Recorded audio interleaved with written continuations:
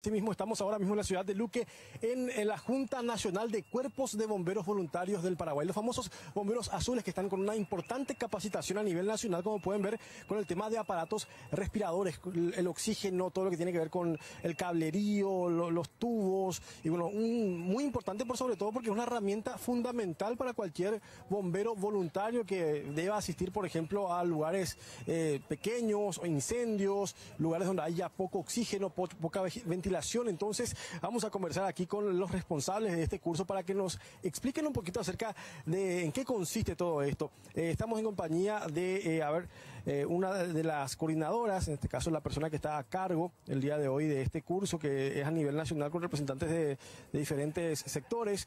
Está la directora académica a nivel nacional, la bombera Jenny Sosa, quien nos va a explicar un poquito. directora, muy buenas tardes, gracias por recibirnos. Queremos saber un poquito más acerca de este curso, si nos podemos acercar un poquito también para conocer un poquito lo que es eh, lo que son estas herramientas tan importantes para los bomberos voluntarios. Directora, buenas tardes. Muy buenas tardes. Eh, en primer lugar, muy agradecida al canal, ¿verdad? Porque están cubriendo también este curso que es muy importante para nosotros. Estamos trabajando siempre. Yo soy la directora de la Academia Nacional de Formación de Bomberos. Eh, tenemos varias regiones académicas en este caso le está tocando a la región académica de Central, los bomberos de Central. Nosotros somos los bomberos de la Junta Nacional. Hoy en día estamos teniendo un curso que es uso y mantenimiento de equipos autónomos. Acá estamos con el capitán, el instructor de este curso. No, hablar con el capitán también. Eh, Juan eh, Brites, capitán con relación a, estos artefactos, y nos puede explicar un poquito la importancia de cada una y también el mantenimiento en sí. Sí, eh, esos son uno de los equipos más importantes que se usan para todos los espacios que sean peligrosos para el bombero, donde influyan, donde no haya algunos contaminantes, incendios o falta de oxígeno en, el lugar. Y el mantenimiento de esto tiene que ser perfecto, no, no, tiene que estar óptimo para que el compañero pueda estar trabajando con él durante las guardias que van eh, saliendo en cada, institución. ¿En qué consiste el equipo en sí? Si nos puede ir explicando, por ejemplo, cada uno de los artefactos, también... Eh, cómo es que va. Sí, sí. Eh, este equipo eh, cuenta con una, con una botella cilíndrica que dentro de esto va un, aire comprimido de la atmósfera que tenemos. Eh, ¿Cuánto tiempo aproximadamente retiene esto el O sea, ¿para, ¿para cuánto tiempo aproximadamente tendría? Exactamente. específicamente en este equipo se trataría de un equipo de 30 minutos aproximadamente para servicio del bombero durante un incendio o un rescate que tengan que realizar tiene un, arnés que es la mochila que la transporta y tiene la máscara.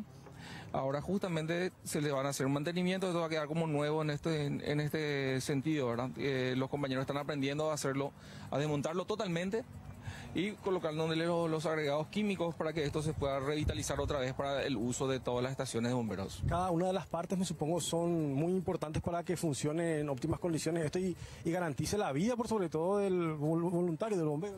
Sí, así mismo, todas las partes tienen una función específica y los compañeros que están aprendiendo hoy es cómo funciona esto para que ellos puedan hacerle los mantenimientos correctivos en caso que haya necesidad en algún momento.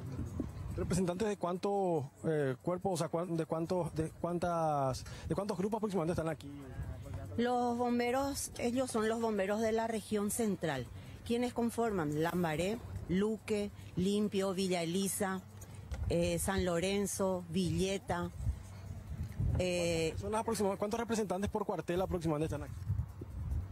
Y aproxima, eh, es un grupo de 40 personas, ¿verdad? Porque nosotros le damos cupos a cada cuartel como para que todos, todos los de la región puedan estar participando de este curso. Luego ellos van a sus cuarteles y ellos mismos le enseñan nuevamente a, su, a sus compañeros. Una enseñanza en cadena. Así mismo es. ¿Hasta qué hora se extiende? ¿Es solamente por el día de hoy? Es hasta las 20 horas. Empezamos hoy a las 7 de la mañana y continuamos hasta las 20 horas.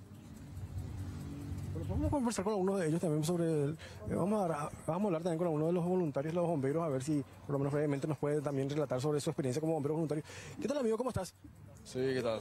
Sí, yo soy Matías Henry, soy bombero de Ñembú, soy Bravo Sur y hace un año y medio que estoy como bombero ¿Qué tal con los aparatos te llevas en el sentido, por ejemplo, del mantenimiento? eh, de, me imagino que sí o sí tienen que estar inspeccionando de, de tanto en tanto porque cuando salen, salen apurados. Sí, siempre tenemos que estar precavidos, siempre tenemos que cuidar nuestra herramienta y siempre tenemos que tratar de mantener limpio, eh, cuidado, como siempre, porque siempre es importante nuestra seguridad.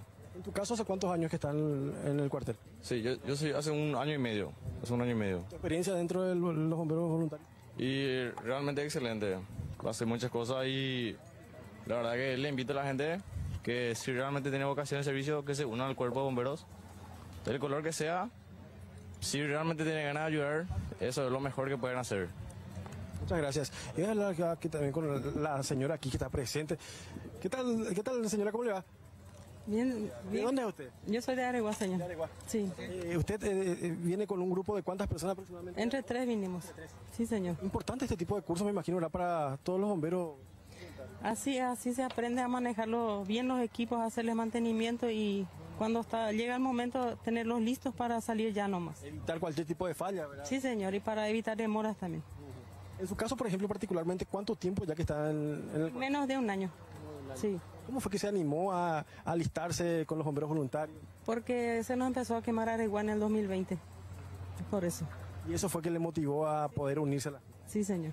En aquel entonces me imagino que ayudó también porque toda la ciudad prácticamente salió a las calles para poder... Todos ayudamos. En mi barrio, en todos lados hubo fuego. ¿Tu barrio cuál es? Eh, playas de Areguá. Playa de Areguá. Sí, señor. Ahora ya, ahora ya tiene más bomberos, entonces pues...